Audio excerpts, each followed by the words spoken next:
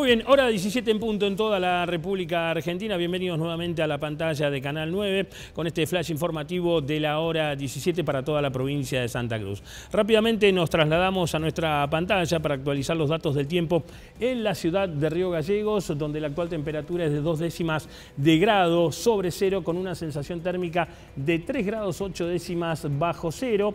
El cielo se encuentra mayormente nublado, la humedad del 84% y el viento del oeste a 3 13 kilómetros por hora.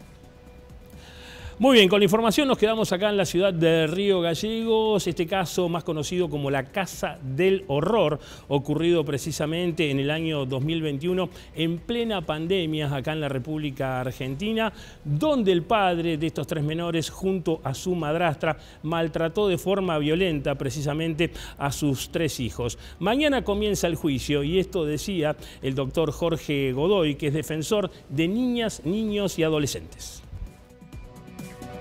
Eh, mañana comienza un juicio muy importante para nosotros eh, respecto de dos personas mayores de edad que habrían eh, para nosotros maltratado, torturado y, reducido a la servidumbre, a la esclavitud a, tres niños.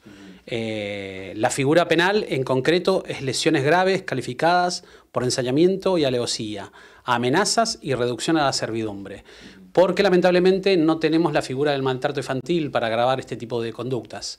Eh, y bueno, mañana iniciará el juicio a las 9 de la mañana, es horario público, por eso estamos conversando.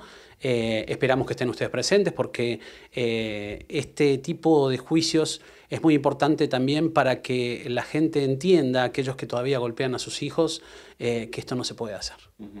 A grandes rasgos, ¿nos puede describir un poco la situación por la, por la que pasaron estos, estos niños? Bueno, eh, se ha dicho mucho, pero sí, estos chicos eh, fueron golpeados, eh, fueron maltratados, en algún punto los obligaban a, comer su materia fecal y, su vómito, distintas cuestiones. Le deformaron la oreja a uno, o sea, cuestiones muy, muy tristes.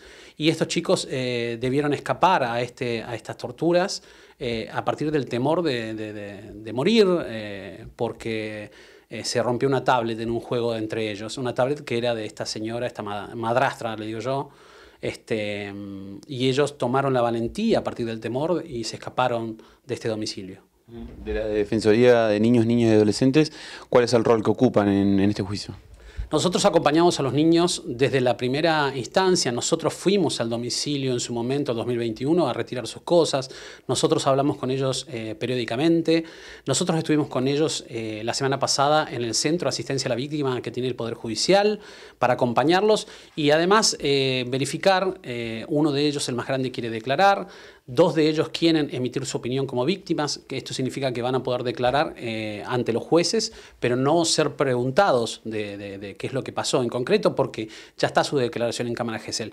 Pero nuestra función en concreto es acompañar a los chicos complementariamente, complementando su capacidad reducida por ser eh, niñas, niños y adolescentes. ¿Cuáles son eh, los canales de comunicación a los que hay que denunciar este tipo de situaciones? situaciones como estas suceden, no de este grado y de esta magnitud, eh, por suerte, pero siempre tenemos situaciones donde hay niños que son maltratados.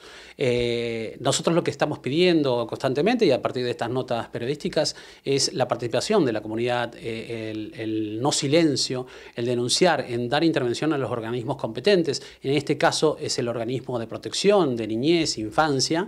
hay que darle intervención a ellos, ellos tienen un teléfono de guardia, este, comunicarlos porque ellos son los que van a determinar si hay que dar intervención a la justicia penal, si hay que abordar la situación de determinada manera, ellos están en contacto con nosotros directo y la verdad que eh, ellos son un canal de recepción de este tipo de situaciones.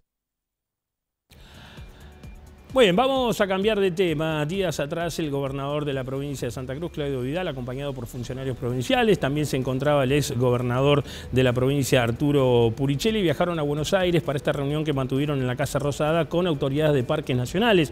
El objetivo es la ampliación precisamente del ejido urbano de la localidad del Chaltén. Por este tema habló Adrián Suárez, el presidente del Consejo Agrario Provincial, con el noticiero de Canal 9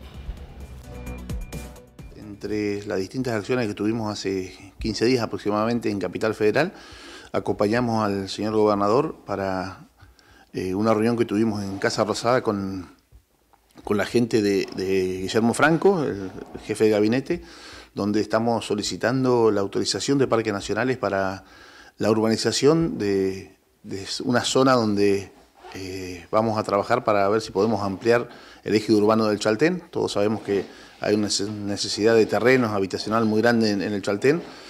Eh, entonces fuimos a, tenemos una propuesta de un privado, de, una donación de hectáreas hacia el este de la localidad, eh, eso queda dentro de parques nacionales, entonces se necesita la, autorización de, parques nacionales para urbanizar, así que en ese tema estuvimos, nos acompañó el intendente del Chaltén, el señor Ticó, y también nos acompañó el ex gobernador de la provincia, el fundador del pueblo del Chaltén, Arturo Poricelli, y el ministro de Gobierno, así que bueno, creo que van avanzando muy rápido las, negociaciones con parques, eh, tuvimos muy buena recepción por parte del Gobierno Nacional, y bueno, estamos esperando ahora la pelota, está un poquito en el lugar de ellos para ver qué resuelve, si, Parques nos, autoriza previo un informe de pacto ambiental y, distintos temas, creemos que puede ser una solución para el tema de los terrenos en, el Chaltén. Bueno, Chaltén es un punto turístico muy importante de la provincia de Santa Cruz, esto sería un gran avance para, en materia de turismo. Sí, sí, sí, la verdad que la idea del gobierno provincial es, es trabajar en esto, hacerlo ordenadamente, con un buen plan de de edificación o urbanización. Eh, se necesita una ley de ampliación de eje urbano también, pero como bien vos decís, tenemos muchos visitantes, la verdad que el Chaltén, después de Calafate, debe ser la segunda localidad, sin ninguna duda, con, con la cantidad de turistas que van en verano, y bueno, eh, está el Parque Nacional y después tenemos reservas provinciales que también son de gran atractivo, como la, zona del lago del desierto y demás. Así que bueno, la idea es trabajar en conjunto con, con Nación en eso y poder eh, en este tema puntual, el tema de, la ampliación del eje urbano es para, para el tema de los terrenos, que, la verdad que está saturado. El Chaltén no puede crecer en el lugar que está para hacia ningún lado, entonces creemos que puede ser la, alternativa de acá hacia muchos años para adelante para darle una solución a, los vecinos y a la gente que se quiera instalar en el Chaltén. Mencionaba al intendente de, Chaltén, ¿cuál es la, posición que toman, bueno, no solo las autoridades, sino también los vecinos de la localidad? Bueno, los vecinos, la verdad que yo he tenido reuniones con distintos vecinos, eh, con parte de los concejales, y ellos quieren buscar una solución. ¿eh? Eh, hay distintas alternativas, pero bueno, esta sería una de las soluciones más, más viables, así que, bueno, la necesidad es, es, es, muy grande de terrenos, saben que hay terrenos usurpados, que hay gente viviendo en no las mejores condiciones, entonces creo que, que esta es una de las mejores alternativas, es más viable, así que estamos trabajando fuertemente en esta.